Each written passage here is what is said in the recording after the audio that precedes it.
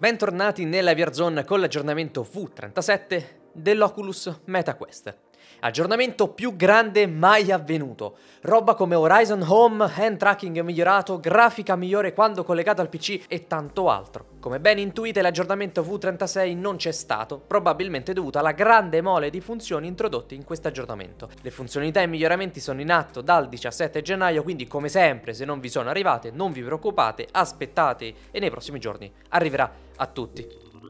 Iniziamo con le app first party di Oculus, ovvero quelle che vedete nello store, non verranno messe all'inizio, ovvero in cima alla libreria delle app, invece sarà possibile organizzare la lista appunto delle applicazioni e dei giochi attraverso dei filtri. Quindi fantastico, una funzione che chiedevamo da un sacco di tempo e finalmente possiamo personalizzare quindi la nostra lista di giochi e applicazioni, quindi niente di assurdo, ma comunque un grandioso inizio. Passiamo ora al link sharpening, la funzione che permetteva di aumentare la chiarezza dell'immagine quando usato in link o AirLink, quindi attraverso cavo o wireless collegato al PC. Ecco, adesso abbiamo il link sharpening plus o più, infatti è stata migliorata ancora di più questa funzione. Se già non era un passo avanti, ora sarà una goduria giocare PCVR con il Quest. Vediamo invece il Guardian, perché è stato migliorato anche questo. La nuova funzionalità riguarda il Guardian stazionario e direi finalmente, finora quando si stava seduti e si superavano i limiti imposti, venivano visualizzate le barriere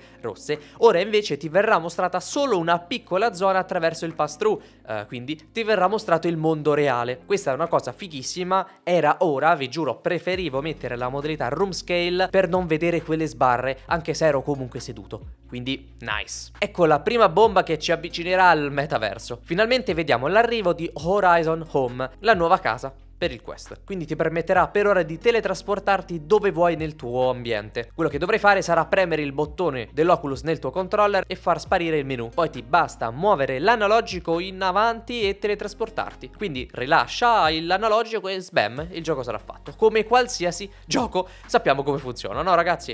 E potrai pure ruotare su te stesso, quindi muovendo l'analogico a destra e sinistra. Mi raccomando, il menu non deve essere visibile. Queste sono solo le informazioni che ha dato meta. Quindi appena arriverà l'aggiornamento anche a me uh, vedrò effettivamente se c'è bisogno di farci un video e vedere tutte le funzionalità di Horizon Home o magari hanno messo solo questa. Adesso non ve lo posso assicurare. In caso ci farò un video. Calmiamoci, ma neanche troppo, perché come detto la personalizzazione non finisce qui. Si potranno ridimensionare le finestre sia in larghezza che in lunghezza e verranno inizialmente supportate applicazioni come il browser, Oculus TV e il gestore file. Anche poi per esempio app 2D che sono tipo già disponibili, che sono adesso disponibili sul Quest. Più o meno nello stesso tema arriva maggior flessibilità nel modo in cui le app 2D vengono mostrate, potendo cambiare la distanza, la dimensione e rotazione usando questa barretta grigia qui sotto, per cambiare tra la modalità tablet e desktop. Per cambiare tra le varie modalità basterà premere sulla barra grigia qui in basso e muoverla su o giù. Se usi il browser cambiando la modalità desktop a quella tablet, le schede verranno unificate in un'unica finestra. Invece se fatto il contrario verranno divise, come in precedenza. Questa è una cosa molto carina, la personalizzazione è sempre una cosa che apprezziamo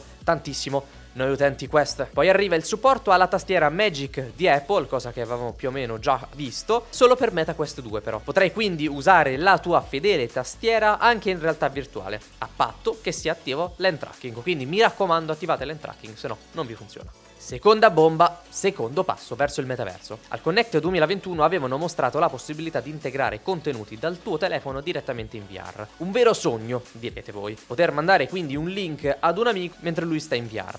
Ebbene, quel sogno è praticamente arrivato. Sebbene sia tu a dover mandare il link a te stesso al visore, ma comunque tanta roba. Quindi quello che bisognerà fare è avere il visore acceso, attivare il Bluetooth e collegarsi al telefono che deve essere Android. Viene detto che iOS arriverà in futuro, quindi non vi preoccupate. Poi dal telefono andare nel sito che si vuole mandare, premere su condividi e selezionare l'Oculus app. Una volta aperta, cliccare su apri adesso, selezionare il tuo visore, se ne hai più di uno, clicca quello che stai usando in quel momento e in automatico automatico apparirà in VR. Resta un tantino macchinoso, quello sì, ma speriamo divenga sempre più immediata la cosa. Quindi aprire link come per esempio video di YouTube non è mai stato così interconnesso. Altra figata pazzesca, finalmente, lo dico ora, era ora ragazzi, arrivano le gestures con le mani. Vi sembrerà strano, ma molti giochi già hanno integrata questa cosa, ma il Quest ancora no. Con l'end tracking quindi si avrà accesso a delle scorciatoie per fare per esempio delle foto, degli screen in pratica, o per esempio attivare dei dei comandi vocali, insomma, tanto altro. Per aprire questo piccolo menu bisognerà mettere la mano di fronte a te, unire l'indice e il pollice, aspettate un pochetto e a un certo punto aprirà un piccolo menu. A quel punto potrai scorrere tra le varie funzioni. Era un casino ogni volta usare l'end tracking senza controller, anzi impossibile. Per esempio, uscire da un gioco era pressoché,